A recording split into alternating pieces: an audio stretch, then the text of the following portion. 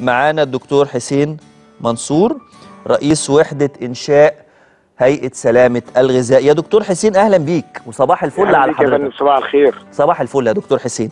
يا دكتور حسين آه آه أنا بقول إن إحنا آه هنفضل والله مكملين وإن شاء الله عايشين عشان كل دولة لازم لها شعب. مهما عانى هذا الشعب فالدولة لازم لها شعب. مهما عانينا من مشاكل في الأغذية مهما تعبنا أو تألمنا صحيا بس إن شاء الله ربنا يسهل إحنا مستمرين ومتواجدين.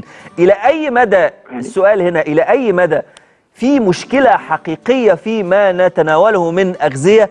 وإلى أي مدى في ضرورة قصوى لإنشاء هيئة قومية لسلامة الغذاء وتفعل أو يفعل ما يخرج عنها بشكل سريع يا دكتور؟ شوف يا فندم إحنا بقالنا دلوقتي أكتر من 8 سنين في الموال دوت. والقصة الطويلة دي آه والحمد لله أخيرا اقتنعت الحكومة. ووافقت لنا على إنشاء هيئة قومية لسلامة الغذاء تكون تمام. جهه وحيدة مسؤولة عشان تنهي الحاجات اللي إحنا بنشوفها كل يوم دي سواء على مستوى المستهلك ومستوى أضراره الصحية أو على مستوى التصدير والحاجات اللي اللي شفناها أكثر من مرة وعملت لنا مشاكل. الحمد لله المشروع عدى في مجلس الدولة وبعدين ذهب إلى مجلس النواب وحاليا في مجلس النواب في داخل اللجان بتاعته. فأنا أتصور إن هو إن شاء الله في خلال يعني 10 أيام بالكثير هيكون ال- المجلس الوافق عليه المجلس. طيب إيه اللي يضمن لنا يا دكتور حسين إن الهيئة دي ما تكونش زي بقية الهيئات وبقية اللجان؟ يعني تجتمع وتشكل في البداية وتجتمع وتعطي قرارات وفي الآخر حالنا هو حالنا في حاجات كتير. إيه اللي يضمن لنا يا فندم؟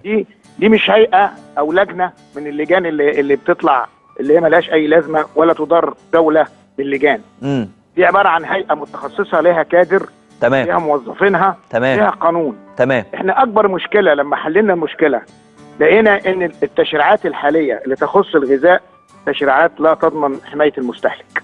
من الآخر كده يعني. التشريعات اللي موجودة ما تضمن لناش آه، يعني حماية واجبة عشان صحتنا وعشان الغذاء اللي بنتناوله. لحد دلوقتي. بالظبط.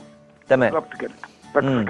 فالمفروض هنا إن القانون الجديد اللي هيطلع لقانون الغذاء يضمن ال- الحق ده ويضمن إن الغذاء اللي بيتداول ما يكونش غذاء ملوث. النقطة الثانية العاملين فيه لازم يكونوا عاملين قادرين على إن هم يفهموا القانون ويعرفوا ينفذوه.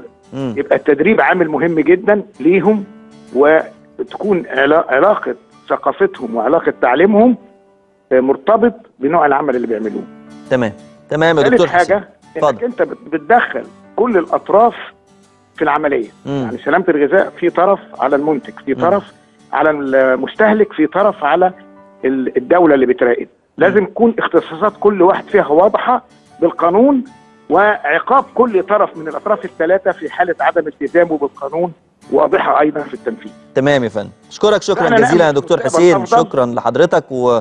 وإن شاء الله يعني آه، قريبا نرى هذه آه، الهيئة آه، ظهرت للنور ونتائج عملها تكون على أرض